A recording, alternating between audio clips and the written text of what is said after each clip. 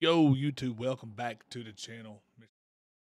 Uh, a few things I want to go over with y'all real quick. I see a lot of people on forums talking about how they've been rubber banding, they had low FPS uh, on Battlefield 2042. I'm going to be able to show you all real quick how to fix that, how to resolve the issue.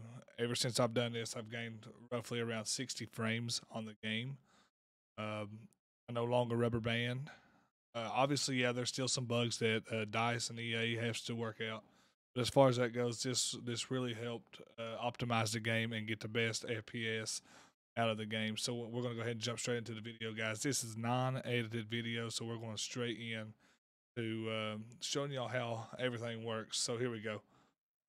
First thing we want to do is we want to go straight to our documents, as you all can see. You want to click on Documents. You want to scroll down. You want to find Battlefield 20 right there. Click on that. You want to go to Settings. Pro F Save Profile. You want to click on that, guys. You want to open this up in Notepad. Remember this. So what you want to do is you want to scroll down through here. I'll show you. It's going to be GST render. So you're going to be on GTS render. What you're going to look for is shadowing. Shadow quality right here, chat. Let me let me make this screen bigger. GTS shadow quality right here. What that's going to do is when you open that up, it's going to show you as a value of two. What you need to do is turn that value into zero. So back, uh, erase that two. What you want to do is you want to put a zero in there. You want to go File, Save. I do. I usually do this a couple times just to make sure it's good. So what you want to do then? You want to close this completely out of your window, and then you want to go open up Battlefield 2042.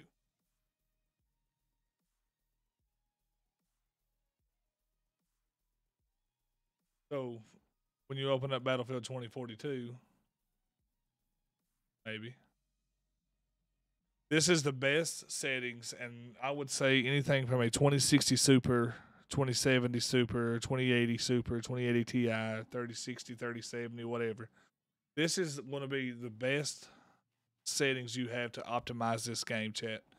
So, our motion blur is on 27, our brightness is on 65 field of view, no more than 90. Because if you do go any more than 90, you're going to start getting a fishbowl look. See, my refresh rate's on 165. We're running at 1920 by 1080. Blah, blah, blah, blah, blah. Um, chromatic abrea- uh, aberration off. Film grain off. Everything, all your lens distortion, everything is going to be off.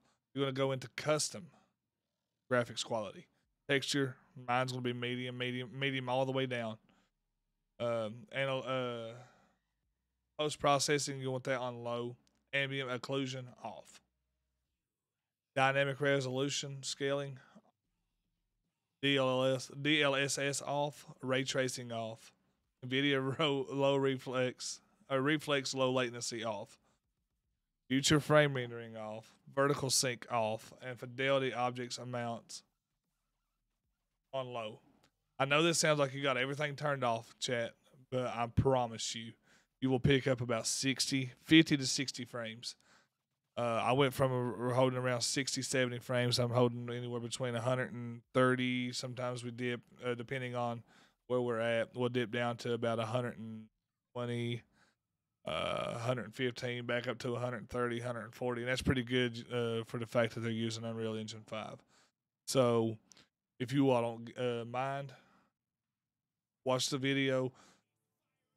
Try to optimize your settings using the the steps that I give you here. Come back, let me know in the comments whether or not it helped your frame rate, whether it helped your rubber banding issue. I know it helped me, and I hope that this video is helpful to you all. If y'all don't mind, guys, please hit that follow button if you're on YouTube, watching it on YouTube, hit that subscribe button, guys. Leave me a comment. Let me know whether or not this helped your issue. Appreciate everybody, guys. I had to try to hurry up get this video out that way. You all knew what you all needed to do before launch day on the 19th, guys. I'm really, really enjoying Battlefield right now, especially since I've got all this rubber banding issue lined out. And I know it's been a big issue, and DICE even came out and said it was on their side. But just lowering your settings just a little bit and not trying to play on ultra is uh, the key thing. Like this engine is really, really good at putting out shadows and stuff. So you don't need to run on ultra, but be sure to go into those settings, change that shadowing over to zero. Come in here, and like I said, I'm running the 3070, guys, and this is what I have everything on, and it looks amazing. It feels amazing. It's smooth. It feels like it should feel. So let me know in the comments whether or not it helps you out as far as optimizing and getting the best frame rate possible. I'll see you all next one, baby. Don't let anyone dim you shine.